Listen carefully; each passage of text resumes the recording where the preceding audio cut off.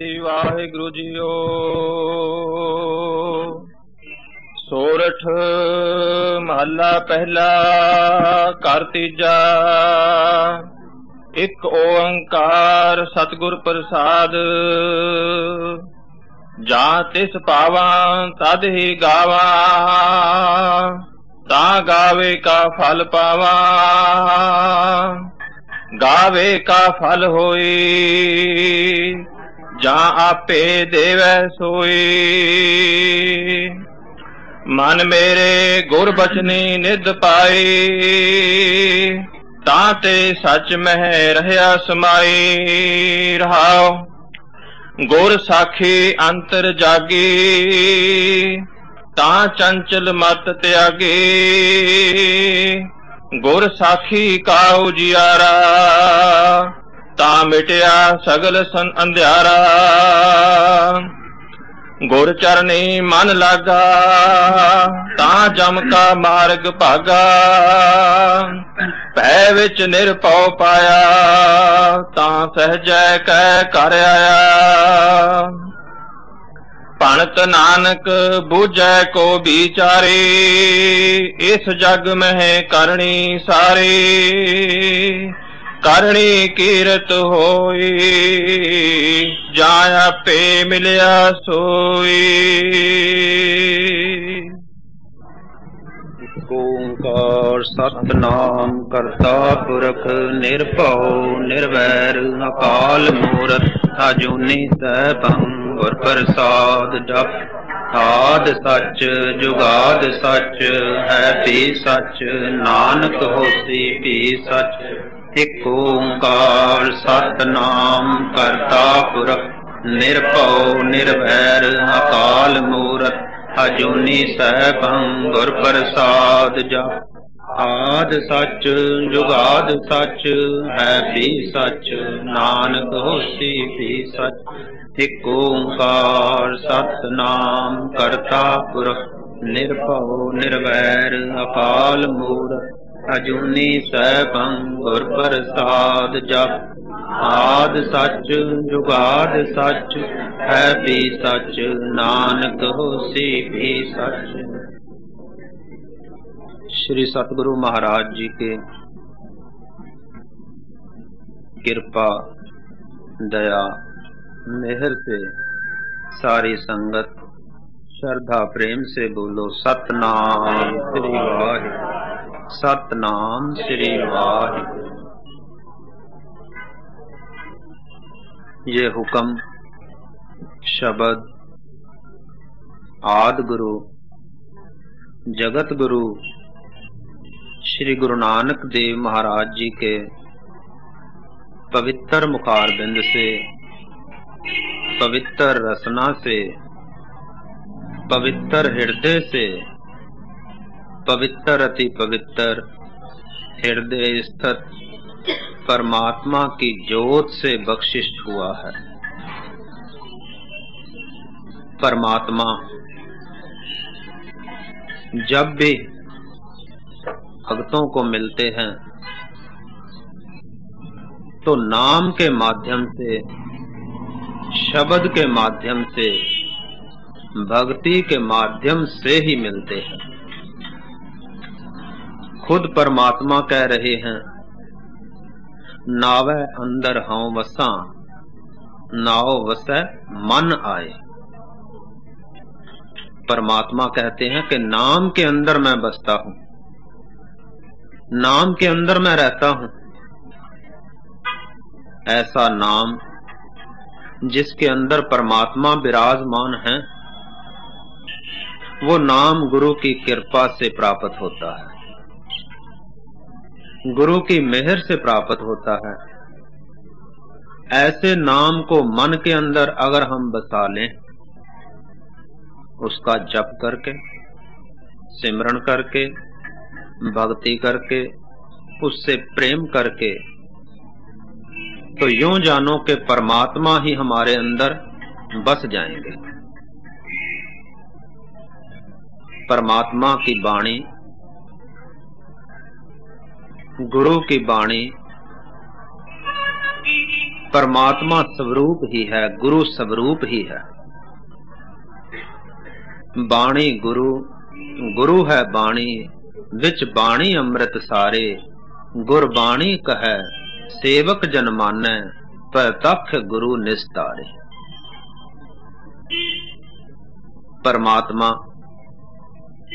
गुरु के हृदय में प्रकट होकर के नाम वाणी के माध्यम से सिख तक, शिष्य तक, भगत तक पहुँचते हैं। जैसे ही पहुँचते हैं सिख तक तो सिख जो है, भगत जो है, परमात्म स्वरूप ही हो जाता है। जिना न विसरै नाम, से किनेहया भेद न जानो मूल साई जेहया। जिनके पास परमात्मा के नाम का सिमरण है। नाम का ही आधार है जिनके पास। सिमर सिमर नाम बारंबार, नानक जी का यह आधार। जीव का। जीवत्व। प्रकाश। ज्ञान। तो ज्ञान का आधार परमात्मा के नाम का सिमरण है। परमात्मा की वाणी है। उस वाणी की याद में हमें हमेशा ही रहना है। जैतन बाणी विसर जाए, ज्यो पक्का रोगी विल लाए। अगर बाणी हमारे जीवन में से निकल गई, अगर हम बाणी को ही छोड़ बैठे, भूल गए, विसार गए तो पक्का रोगी कोड़ी।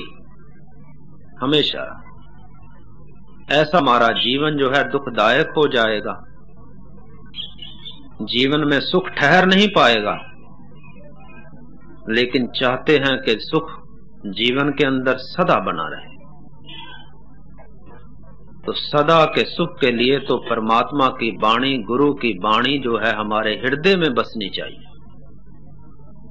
और वाणी के अंदर इतनी श्रद्धा हो, इतना विश्वास हो, इतना प्रेम हो कि साक्षात परमात्मा गुरु ही हमें मिल रहे हैं। फिर ये वाणी अक्षर मात्र नहीं रह जाती, चिन्ह मात्र ही नहीं रह जाती, साधन मात्र ही नहीं रह जाती, मंजिल होकर के मिलती है, लक्ष्य होकर के मिलती है, जीवन का लक्ष्य। आत्मा परमात्मा की एकता का बोध, कि आत्मा परमात्मा से अलग नहीं है, अर्थात परमात्मा हमसे अलग नहीं है। हर जगह, हर वक्त, हर एक में विराजमान, लेकिन ये बोध कभी होगा जब वाणी से जुड़े रहेंगे। अमृत वेले का उठना गुरु से जुड़ना, परमात्मा से जुड़ना, नाम वाणी से जुड़ना बहुत महात्म रखता है। अमृत वेला। शास्त्रों में तो तीन से छह बजे का जो वक्त है, उसको अमृत वेला कहा गया है। अब देखें कि उस अमृत वेला को, जिस समय के अमृत परमात्मा से वर्षा के रूप में प्राप्त हो सकता है। एक, दो, चार, बूंद नहीं, वर्षा। अमृत की वर्षा। क्या उस वक्त को हम संभाल रहे हैं अपने जीवन के अंदर? कि उस वक्त हम सोए हुए हैं अज्ञान की नींद में, संसार के चिंतन में, या ऐसे शारीरिक नींद में उस अमृत वेले को जब संभाल लेंगे तो हमारे मन में तड़प होगी परमात्मा को मिलने की, परमात्मा के साक्षात दर्शन करने की। वह तड़प पूरी होगी गुरु को मिलने से तो जिस वक्त गुरु मिलेगा, सही अमृत वेला वो होगा। अमृत वेला। जिस वेले, जिस वक्त अमृत ही अमृत हो, ज्ञान ही ज्ञान हो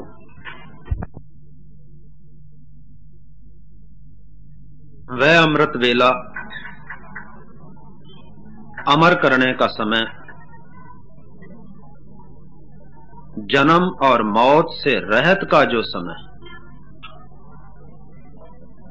संसार में जितना समय है, जन्म और मौत के बीच में रखने वाला है। लेकिन वह जो अमृत वेला होगा, अमर समय होगा, उसमें स्थित होकर के ही हम जन्म और मौत से रहत हो सकेंगे, अर्थात दुखों से रहत हो सकेंगे। तो सुबह का जागना अमृत वेला, गुरु को मिलना अमृत वेला, गुरु की कृपा के पात्र बन जाना, गुरु की खुशी को प्राप्त कर लेना अमृत वेला। गुरु से नाम की दात प्राप्त हो जाए, नाम दीक्षा प्राप्त हो जाए, वह अमृत वेला। जब नाम, रसना पर, जब नाम हृदय में ठीक नामी रूप से प्रकट हो जाए, वह अमृत वेला। अर्थात, नाम का सिमरण निरंतर जब हो जाए, वह अमृत वेला। ऐसे अमृत वेले को अमर करने वाले समय को ही गुरु साहेब, गुरु गोविंद सिंह महाराज जी कह रहे हैं, एक चित जे एक छिन त्यायो, काल फास के बीच ना आयो। वो छिन बहुत थोड़ा समय छिन कहते हैं बहुत थोड़े समय को, अर्थात जहाँ समय का अभाव ही हो जाए अर्थात जहाँ हमारा मन ना भविष्य में जाए, अर्थात भविष्य की चिंता ना करे, आने वाला समय उसकी चिंता ना करे। भूतकाल जो समय व्यतीत हो चुका है, उसकी चिंता ना करे। जिस समय हमारा मन न आगे न पीछे, दोनों सोच को छोड़ करके वर्तमान में स्थित हो जाए वह अमृत वेला। और वर्तमान के सिवा और कोई समय दारसल समय है ही नहीं। वर्तमान समय ही एक समय है जब हम ज्ञान को उपलब्ध हो सकते हैं गुरु कृपा से। भविष्य किसने जाना? आने वाला समय, यानी कल, परसों, फिर कभी किसी ने नहीं जाना। भविष्य जिसको भी मिलता है, हम सबको मिलता है, लेकिन मिलता जो है, वर्तमान के रूप में है। कल को हम कैसे पकड़ सकते हैं? कल हमें कैसे मिल सकता है? नहीं मिल सकता। और आज तक किसी को कल मिला भी नहीं। कल जिसको भी मिला वो आज के रूप में ही मिला। यानी हम छोड़ दें कि कल भजन करेंगे, फिर भजन करेंगे, जब समय होगा फिर करेंगे। अभी तो बच्चों की शादियाँ करनी है, अभी तो कमाना है, अभी तो संसार में मुझे इधर उधर जाना है। नहीं तो परमात्मा नहीं मिल सकेगा। परमात्मा को मिलने के लिए तो अभी में ही स्थित होना होगा, वर्तमान में ही स्थित होना होगा हमारे मन को। और वर्तमान इतना सूक्ष्म है, इतना सूक्ष्म है कि वहाँ समय का अभाव होते ही मन गिर जाता है। मन का तल्लक सिर्फ़ समय से है। जो समय बीत चुका है, हमारा मन उससे जुड़ा रहता है तो मन खड़ा है, संसार खड़ा है। जो समय आने वाला है, मन वहाँ जुड़ता रहता है तो संसार खड़ा है, मन खड़ा है। तो जैसे ही वर्तमान में, प्रेजेंट में हमारा मन टिकता है, टिकेगा नाम से, टिकेगा जप से, टिकेगा सिमरण से, टिकेगा गुरु कृपा से। तो क्या उस टाइम उपलब्धि होगी कि वर्तमान तो है ही नहीं?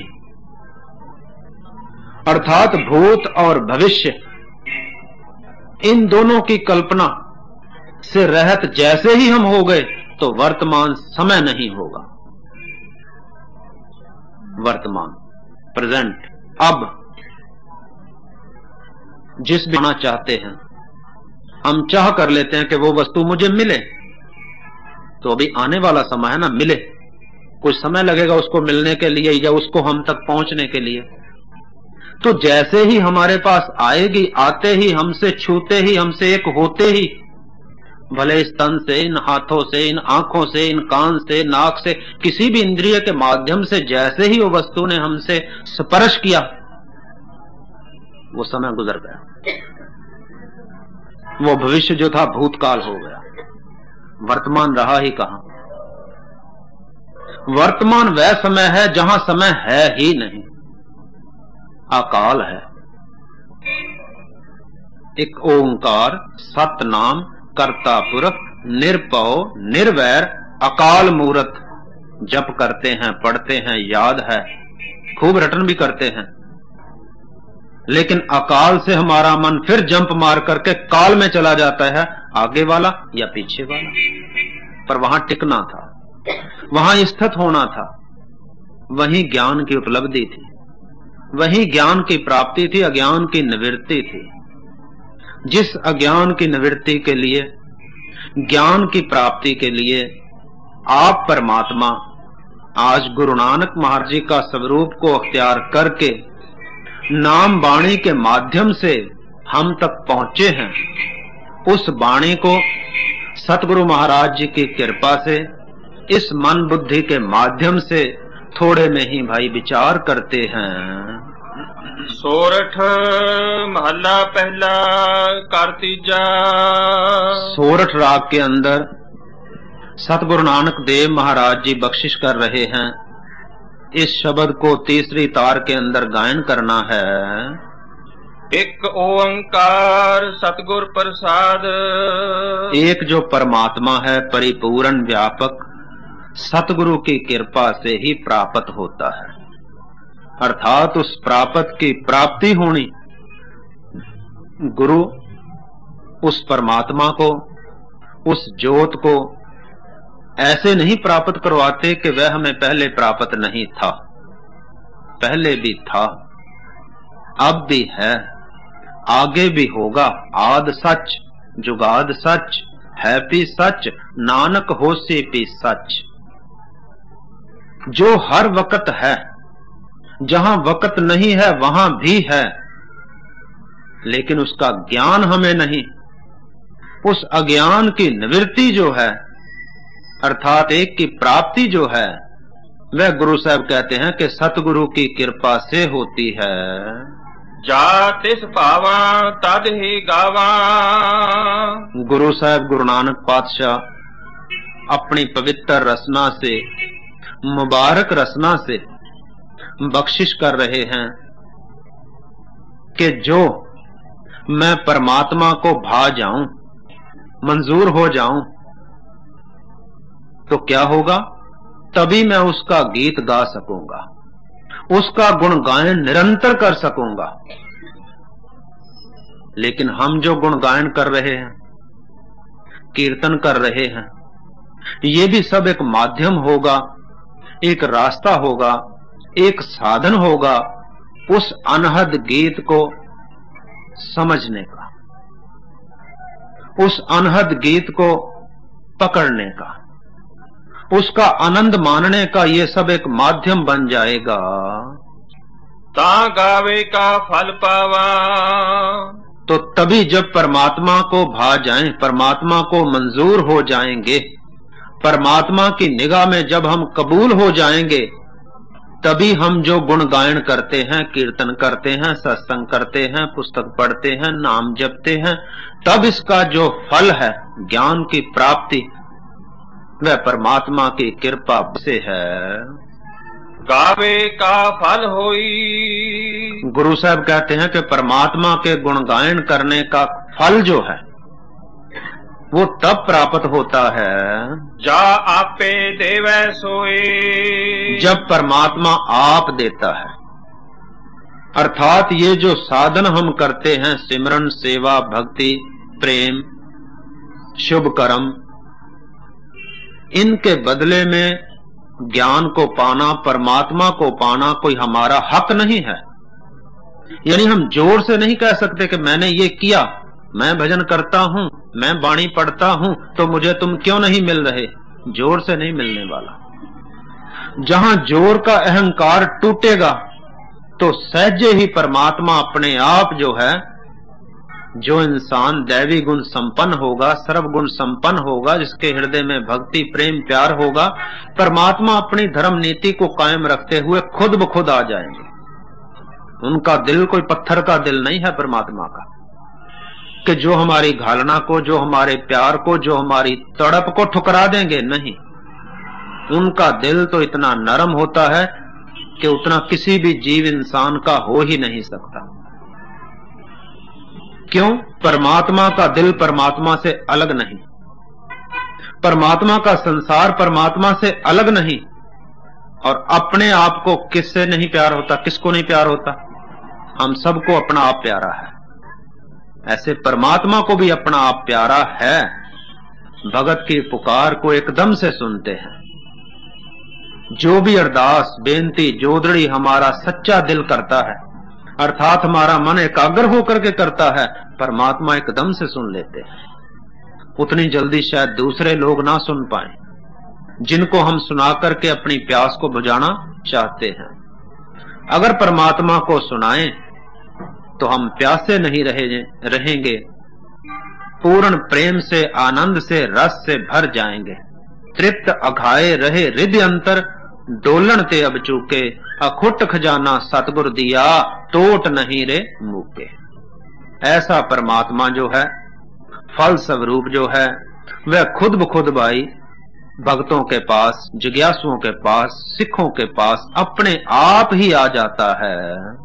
मन मेरे गुर बचनी निध पाई। गुरु साहब कहते हैं कि मेरे मन ने गुरु के बचनों द्वारा गुरु की शिक्षा द्वारा गुरु की कृपा द्वारा निधि नाम खजाना नाम का खजाना नाम का रस भक्ति का रस प्राप्त किया है।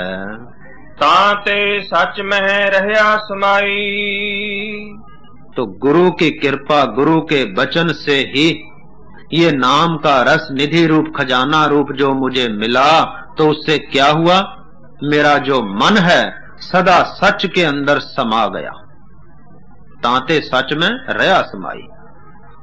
मेरा मन नाम का जप, नाम का सिमरन और सेवा में ऐसे निकला। गुरु की दीक्षा और गुरु के वचन से कि सदा के लिए वह समा गया परमात्मा के अंदर, सच के अंदर। अब मन मन ही नहीं रहा। अब यह संसारी मन नहीं रहा। अब मन ऐसा नहीं रहा जिसके अंदर दुख हो, जिसके अंदर चिंता हो, जिसके अंदर तौखला हो, जिसके अंदर कोई कमी हो, घाट हो नहीं। अब मन सच में मिलकर के सच स्वरूप ही हो गया। मन तू ज्योत स्वरूप है, अपना मूल पहचान। ऐसा जो मन गुरु की शिक्षा को प्राप्त हुआ और अपने स्वरूप में स्थित हो गया है ये सब गुरु की कृपा से गुरु के वचन से हुआ। रहाओ गुर साखी अंतर जागी। गुरु की साखी का ये शिक्षा गुरु का उपदेश गुरु का नाम अंदर हमारे हृदय के अंदर हमारी भावना के अंदर हमारी श्रद्धा के अंदर ऐसे जाग उठा ऐसे प्रज्वलित हो उठा कि अंधकार वहाँ से दूर हो गया। ता चंचल मत त्यागी। तो क्या हुआ? भाई मत हमारी बुद्धि के अंदर जो चंचलता थी वो दूर हो गई। वो त्यागी गई। अब हमारा मन इधर उधर कहीं नहीं जाता। सदैव परमात्मा के गुरु के चरणों में टिका रहता है स्थिर रहता है। ये सब गुरु की कृपा है। गुर साखी का उजियारा। गुरु की शिक्षा से ही भाई हमारे अंदर प्रकाश हुआ है ज्ञान हुआ है। ता मिटिया सगल अंधेरा तो इससे क्या हुआ? हर तरह का जो अज्ञान था भरम था अंधकार था वह सब दूर हो गया। ज्ञान अंजन गुर दिया अज्ञान अंधेर विनाश हर कृपा ते संत भेटिया, नानक मन परगास। परमात्मा की कृपा से संत गुरु का पूर्ण पुरुष, ब्रह्म ज्ञानी का मिलाप, और ऐसे गुरु के मिलने से, दीक्षा प्राप्त करने से, अज्ञान की सब निवृत्ति हो गई। गुर चरनी मन लगा। अब तो हमारा मन गुरु साहब कहते हैं हमेशा ही गुरु के चरणों में लगा रहता है। ता जम का मार्ग भागा। तो जब मन गुरु के चरणों में सदा टिक गया ज्ञान को उपलब्ध हो गया अपने स्वरूप का बोध हो गया आत्मा परमात्मा की एकता का बोध हो गया तो जो जम के मार्ग का डर था जो मौत थी जो जन्म और मरण का चक्कर था चौरासी लाख जोनियों में आने जाने का वह सब दूर हो गया। भय विच निर्भव पाया। परमात्मा के भय नाम सत्कार प्यार। जैसे ही परमात्मा का डर हमारे अंदर होगा तो क्या होगा? जिन मन पाओ तिना मन पाओ। हमारे मन की प्रीति हो जाएगी परमात्मा से। यानी हमारे अंदर सत्कार हो रिगार्ड हो रिस्पेक्ट हो परमात्मा के प्रति गुरु के प्रति वाणी के प्रति तो अंदर प्रेम जागृत हो जाता है। तो निरपो जो परमात्मा है निरपो जप है सगल पौ मिट ऐसा जो परमात्मा है जिसका जाप करने से सब भय सब दुख डर दूर हो जाते हैं ऐसा निर्भव परमात्मा हमें प्राप्त हो गया। ता सहज कर आया। तो क्या हुआ? सहज स्वभावक अपने आप अपने स्वरूप के अंदर मेरा जो मन था वह स्थिर हो गया। पणत नानक बुझ को बिचारी साहब कह रहे हैं कि कोई विरला ही है जो इस बात को बूझता है अर्थात जानता है। अपने स्वरूप को अपने अंदर चेतना को अर्थात अपने मालिक से एक में खो के रहने वाला कोई ही इंसान है। इस जग में है करणी सारे। तो गुरु साहब कहते हैं कि इस जगत के अंदर इस संसार के अंदर जो करनी है शुभ करनी है निष्काम सेवा और भक्ति करनी है प्रेम करना है यही एक सार वस्तु है। यही एक निचोड़ है। यही एक सिद्धांत है। यही एक श्रेष्ठ बात है कि शुभ करनी हो और नाम सिमरण हो। नामा कहे त्रिलोचना मुख ते राम समाल हाथ पाँव कर काम सब, चीत निरंजन नाल। हमारा तन, मन, धन, संसार का जो भी ये हिस्सा है, संसार के समर्पण हो। संसार के कार्यों में लग जाए। और हमारा अंदर जो मन है त्वजो है, ध्यान है, गुरु शब्द से एक हो जाए तो ये करनी जो है गुरु साहब कहते हैं कि श्रेष्ठ है। करणी कीरत होई। ऐसे जो करनी हमारी अगर हो गई कथनी नहीं केवल कहना मात्र नहीं केवल कानों से सुन लेना और जीवन में ना लाना ये नहीं। जब हमारा जीवन सुन करके उस बात को मान लेगा सुनया मनिया मन की ता पाओ अंतर्गत तीर्थ मल नाओ। तो अंदर बाहर सारा जो यह शरीर है, स्थूल सूक्ष्म जो शरीर है, मन, बुद्धि, अंताकरण सहज जो ये शरीर है, ये सारा ही पवित्र हो जाएगा।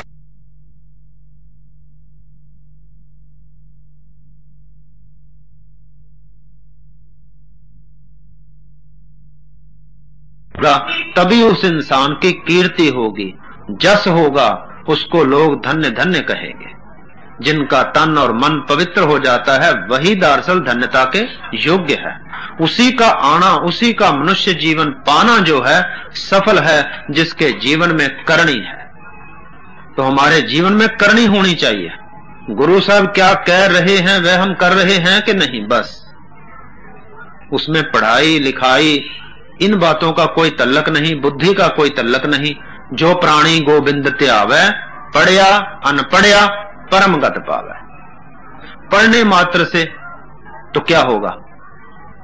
कि मन, बुद्धि, इनका जो विषय है, उसी को ही प्राप्त होंगे लेकिन जब नाम से ध्यान जुड़ जाएगा, नाम से मन जुड़ जाएगा, गुरु दीक्षा से मन जुड़ जाएगा, गुरु चरणों से मन जुड़ जाएगा तो मन किसके विषय है, उस बात का बोध हो जाएगा।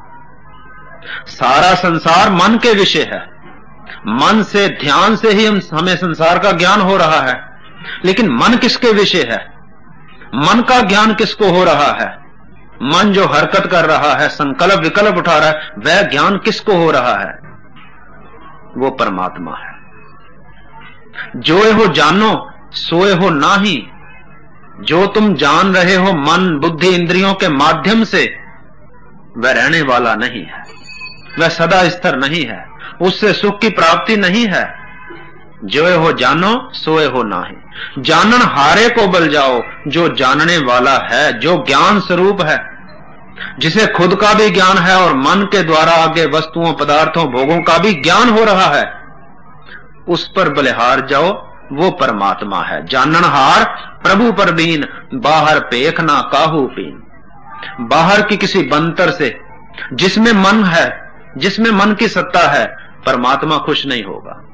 जब तक मन विस्माद में नहीं जाता, मन अमनी नहीं हो जाता, परमात्मा की प्राप्ति नहीं होगी। तो मन को लय करना है, नाम से जुड़ के, सेवा से रत होकर, सेवा से प्रीति को पाकर। तो जैसे ही मन लय हो जाएगा, उस लय के साक्षी तुम हो गए उस लय को भी तुमने जाना। आज मन लय नहीं आज मन चिंतातुर है, आज मन व्याकुल है, आज मन इधर उधर जा रहा है, उसको भी जान तुम रहे हो, लेकिन उस बात का ज्ञान नहीं। तो जैसे ही मन नाम और सेवा से लय हो जाएगा, उस बात का बोध हो जाएगा कि इस लय को भी, इस त्रिपुटी को भी तुमने ही जाना, तुमने ही देखा। दाना बिना साई मेंढा नानक सार ना जाना तेरी।